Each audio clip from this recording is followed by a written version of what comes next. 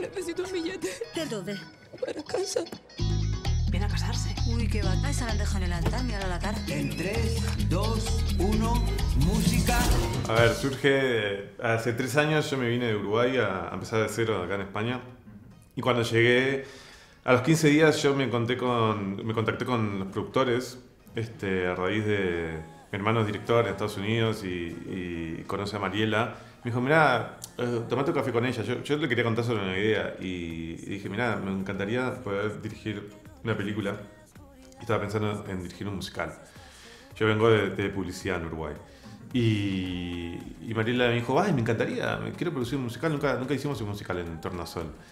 Y me preguntó qué, qué idea tenía en la cabeza. Le dije, mira, me gustaría hacer un musical con las canciones de Rafaela. Yo soy fan de Rafaela toda la vida. Y Mariela dijo, bueno, vamos a hacerlo. y así arrancó la película. Un poco de la nada. Yo también, cuando me lo mandaron, fue como. Pero me han visto cantar o bailar alguna vez. Es imposible que sepan. No, tú habías que hecho algo, habías sacado algo. Sí, pero no lo cantando. habían. Pero no. Sí, pero no lo- creo que no lo habían visto. Ah, Y. Y. Como de la nada. Pero la verdad que con mucha ilusión, pues yo tenía como ganas de, de hacer un musical y de aprender un poco más de, de ese mundo. Y me pareció un, un regalo caído del cielo. Además, estaba en una temporada en la que no quería ocurrir. Le dije a mi repre, digo, no quiero hacer nada a no ser que sea súper especial. Y vino esto. Y era imposible decir que toma. no. A mí también como muy sorpresa, o sea, fue una sorpresa porque, porque fue un, of- un ofrecimiento y yo no, digo, pero ¿cómo saben que yo puedo cantar o no? Y dije, bueno, pues nada, yo no voy a, no seré yo quien diga, oye, mira, hazme una prueba. No, quiero hacerlo, vale, pues me lo leí, me encantó. Eh, es que además era con Rafaela, Rafaela Carrá, que es que no es que mm, tuviera mi habitación forrada de pósters de Rafaela, pero sí, sí, igual que Ingrid hemos crecido con ella y era alguien que a mí cuando hizo su programa en España me fascinaba. Y de repente con canciones de ella me imaginaba bailando, me lo imaginaba todo y decía, gracias, gracias. Y enseguida dije que sí. Si él te lleva a un sitio oscuro que no te asuste en la oscuridad, pues casi nunca se está seguro si es por amor o por algo más. Bueno, pues a través de los universales, ¿no? El Pictures y el Music, eh, se ponen en contacto con, conmigo para, para hacer este, este tema. Y se ponen en contacto, yo creo que de la forma más bonita, que es ¿qué quieres hacer? Eso es muy guay. ¿Qué quieres hacer, no? Y a partir de ahí ya barajamos mil posibilidades y, y decidimos pues hacer esta, esta, esta versión junto a Bruno Dabru. Pero, wow, te llega como diciendo, ¿de verdad me vais a poner en este compromiso? Dio mucho respeto. Indecente, decente, indecente, decente, indecente, decente, indecente. Investigando para ver qué contábamos, porque en ese momento los productores nos hicieron, nos hicieron un contrato de guion, pero no teníamos la historia, simplemente el concepto. Nos pusimos a investigar. Y primero lo que hicimos fue poner sobre la mesa todas las canciones de Rafaela en español, que tiene 90 canciones en español. Y empezamos a, a sacar los conceptos y cosas que encontrábamos en ellas. Y justo había una que hablaba sobre la censura, una canción que al final no está en la película, pero que nos sirvió para partir. Y investigando en internet sobre Rafaela, sabíamos que a Rafaela la habían censurado en Italia en los años 70, el Vaticano. Y descubrimos que en los años 70 en España hubo un censor oficial en televisión española que trabajaba minuto a minuto para censurar cosas ridículas que pasaban delante de cámara. Y, encontramos una ley que el, que el hombre había escrito en una serie de ideas, un, un libro de códigos que estaba basado en el código Haines de Estados Unidos, de cosas que se podían hacer y cosas que no se podían hacer en cine y en televisión.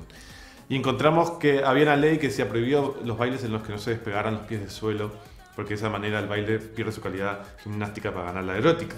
Entonces dijimos, "Pero ahí está la película, era solo esa frase. Y dijimos, claro, o sea, si el personaje que va a ser una bailarina, porque en las canciones de Rafaela se habla sobre bailar, dijimos, bueno, ¿qué tal si este personaje se enamora del censor oficial de televisión española? Esto es muy fuerte. O sea, es, es, es como... Hoy en día la, la música caduca. O sea, un artista saca una canción y ¿qué tiene de vida? Tres, cuatro meses. O sea, ha cogido otro ritmo la música. Y yo creo que es un privilegio ser artista como Rafaela y que tus canciones siempre vivan. O sea, De hecho, viven tanto que yo no yo me sabía las canciones de Rafaela y yo no crecí con Rafaela y yo no sé cuándo me las he aprendido. Pero las están en, están en nuestro ADN, forman parte de nosotros. Entonces, eso es una maravilla. Fue duro, porque teníamos que investigar mucho sobre, sobre España en los años 70. Gracias a Internet hoy en día hay muchas imágenes de referencia y, y sobre todo de- del mundo del plató, de televisión española y de la calle. La calle sí hay muchas imágenes, pero teníamos que buscar también esa manera de, de- de mezclarlo. Y realmente se nos dio muy bien, por suerte, este, poder contar a través del arte ¿no? de los años 70. Eh, María tiene un espíritu al, al que da mucha gana adherirse, ¿no? O sea, hay una cosa ahí justamente esa libertad y esa alegría y un poco esa inconsciencia de lo que pasa por detrás eh, y de la realidad que es muy gustosa a la hora de, de, de jugarla e interpretarla porque te quita muchos pues uno te quita muchos miedos y, y muchos pudores. Yo creo que Amparo, a ver, como por una parte, tiene una parte, sí, liberada, pero luego es muy tradicional. Entonces, a mí me gusta mucho como adentrarme en entender cuáles sean sus motivaciones de vida, ¿sabes? Qué es lo que a lo largo de la peli ella quería. Y luego es verdad que hablando con Nacho, pues de cara hacia el final, pues le decía, joder, si el viaje es que, que a través de conocer a María, pues ella se empieza a plantear, bueno, pues si no encuentro un muchacho para casarme, pues pues me quedo sola y no pasa nada. Que a lo mejor en esa época, por aportar algo, o sea, era parecido, ¿eh? no es que haya cambiado mucho, pero había pues algunos ajustes que Nacho, además, que es maravilloso, es súper abierto para propuestas, nos escuchó, nosotras le transmitimos, las dos estábamos de acuerdo, vamos a darle más fuerza a la relación de amistad, porque ya que la peli habla de todo esto, Fue increíble, realmente tuve mucha suerte de trabajar con, con- con este pedazo gigante de reparto. Tenía miedo al principio, porque no los conocía, realmente no conocía a muchos actores de España y, y que tampoco había trabajado con ninguno. Entonces, cuando me propusieron trabajar con Ingrid, con Verónica, con todo este, es increíble. Tuve mucha suerte porque, porque ellos son buena gente y nos llevamos súper bien y es como, son como uno. Entonces podía hablar, podíamos tirar ideas, este, cero divismo, digamos. Tenía mucho miedo más que nada con, con Pedro Casablanc, porque me parecía como un actorazo, con, veía su filmografía, decía, uy, voy a trabajar con este hombre y lo voy a dirigir. Entonces era como imposible pensar, yo dije, ¿qué le voy a decir yo? Que no haya dirigido nada, o sea, solo publicidad este, a Pedro. Y todo me lo hicieron tan fácil. Eran, somos amigos, que realmente un pedazo de reparto que hasta el día de hoy siempre estoy tipo agradeciendo por, por habérmelo hecho fácil. Fiesta, qué fantástica, fantástica esta fiesta. Qué fantástica, fantástica esta fiesta. Esta fiesta en la que descubrí su amor. Sí, ensayamos mucho con Tony Espinosa, que es bueno, tú seguro que sabes quién es. Eh, y, él desde el minuto uno que se incorporó al proyecto empezó a trabajar con nosotras y ensayar las coreografías y, y luego dimos clases de canto por nuestra cuenta, ensayamos las canciones. Tiene mucho trabajo hacer un musical porque al final son tres disciplinas que están relacionadas entre sí, pero que tampoco tienen tanto que ver, ¿no? Entonces, aunar interpretación con el canto y con el baile no, no es nada fácil, es el trabajo de una cosa multiplicado por tres. Ojalá, porque creo que hace muy bien al alma y que sienta muy bien ver películas de este tipo.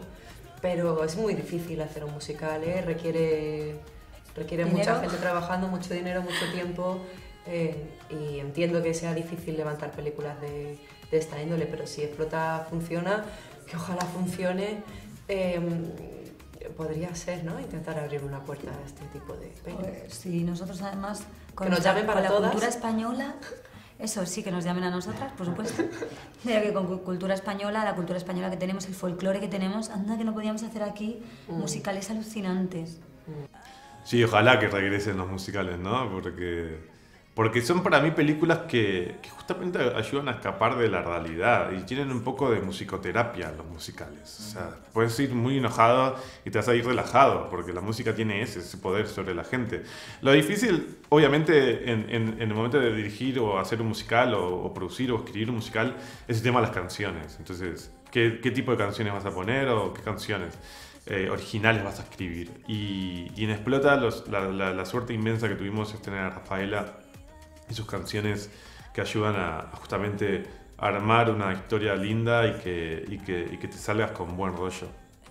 Sabes que yo estaba justo en una obra, de, pasa que no he podido hacerla porque con el COVID y todo se me han solapado proyectos y me he tenido que salir, pero estaba haciendo Mujercitas en el español y ahí yo cantaba y bailaba, la verdad. Estaba súper ¿En contenta, sí, y me he tenido que ir. Ay. Pero, o sea que sí, sí, sí, sí.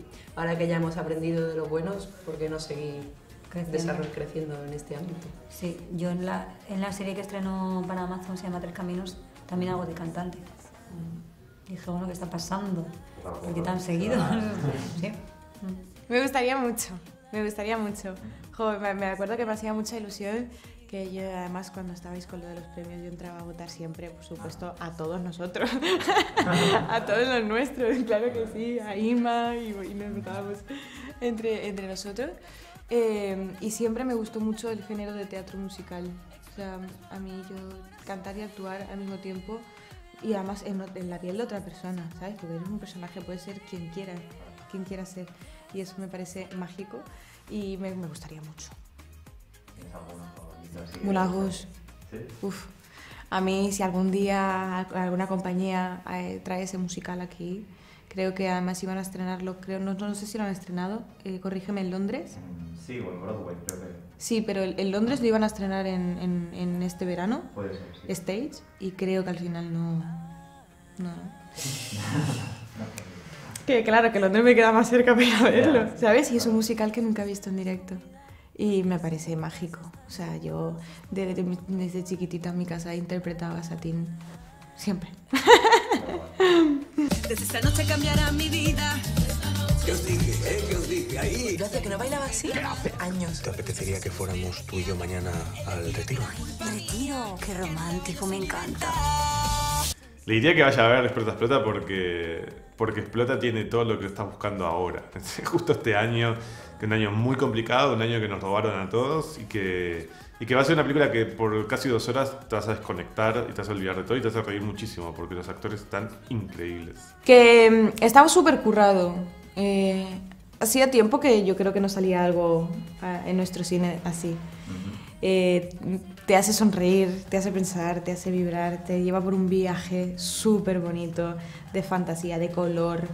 Eh, te hace plantearte, sobre todo para nuestras generaciones, eh, lo, que, lo que veías, ¿no? lo que sucedía antiguamente eh, cu- cuando Ingrid se baja la, la falda y, y que iban con la, con, con la regla midiendo cada, al centímetro, ¿no? Eh, y, y dices, madre mía, esto era así, yo salí en bikini casi el otro día a cantar. es que, ¿sabes? Y dice, esto sucedía y hay gente como Rafael Acarrá que luchó para que esto no sucediera, que cada uno fuera libre a su forma encima de un escenario, sobre todo las mujeres, ¿no? que eran las que más problemas teníamos. Y, y- y creo que es necesaria. Lo que te hace sentir es necesario y falta mucho hoy en día por las circunstancias que hay en el mundo. Y te vas a, te vas a, a sacar de, de- de todos los problemas durante un par de horas. Pues que si quieren recibir un chorro de alegría y, y- pasarse un tiempo divertidísimo sin, sin más, o sea, de risas, de cantar, bailar, vais a salir mm, moviendo el esqueleto porque es que es inevitable. Yo cuando la vi dije, ¿qué me pasa? Es que salí, eh, además termina con ese tema de Ana Guerra, que no me lo esperaba, y terminas aquí. Y dices, joder, claro, si la vida es esto, la vida son las relaciones, el- la alegría de vivir, las, también transmite como que todo es posible, que los sueños son posibles. Es una gran peli para este momento. Qué fantástica, fantástica esta fiesta. Qué fantástica, fantástica esta fiesta. Esta fiesta con amigos. Hola a todos, soy Ana Guerra. Soy Nacho Álvarez. Verónica Echegui. Y yo soy Ingrid García Johnson. Los invitamos a ver esta película que te va a hacer desconectar de lo que está sucediendo afuera. Es cine seguro, yo voy al cine. Damos Mandamos un saludo para los seguidores seguidores de Broadway World. Os quiero mucho. Explota, explota, me explota. Explota, explota mi corazón. Live, live, live, life. Qué desastre si tú te vas. Explota, explota, me explota. Explota, explota mi corazón.